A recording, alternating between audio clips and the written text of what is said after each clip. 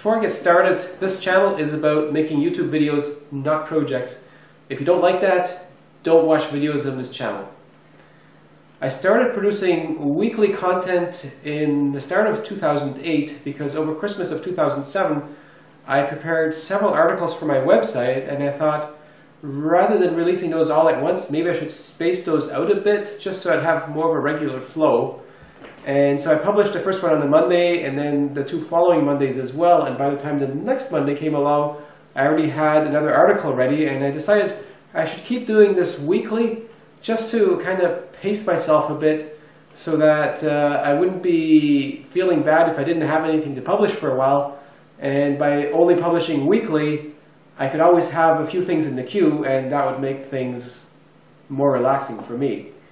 And I kept doing that, and then as things moved to video, I kept doing that as well. So I had weekly videos starting about 2011. I think it was that the videos were one a week. Before that, I didn't always have a video, sometimes just an article on my website.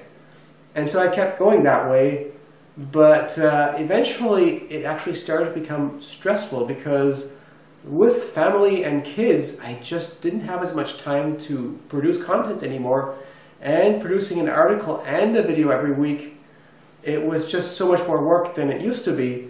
So rather than restricting myself to weekly, causing myself to space things out a bit and having more time, it became stressful to produce something every week. And there's some weeks where the stuff I published just wasn't as good as I would have liked to have published, but that's all I had time for.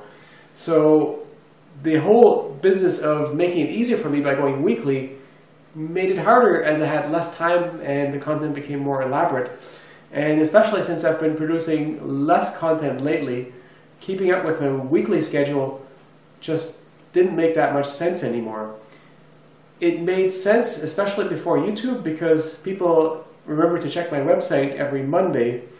But with YouTube, especially with the subscriptions page, not the main page, but the actual subscriptions page, it shows you what you're subscribed to anyways, and I rely on that to get reminded when people have new videos.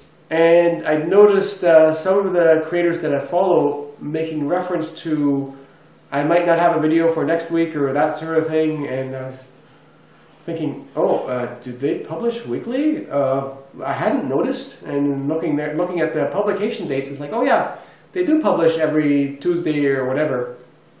I just hadn't noticed, so it really didn't matter to me that they're publishing weekly as a viewer, and so I figured it probably didn't matter that much to my viewers whether I'm weekly or not, because I think most people have figured out how to use YouTube and the subscriptions page, and even if you only rely on the home page, YouTube doesn't always suggest uh, every video that you're subscribed to, but then maybe some of those videos aren't that good, and maybe some of my videos aren't that good and aren't meant to be watched by that many people. So uh, that's why I stopped stressing over weekly. Now it's like, if a video is done, it's done, publish it now because I really want to see how it does.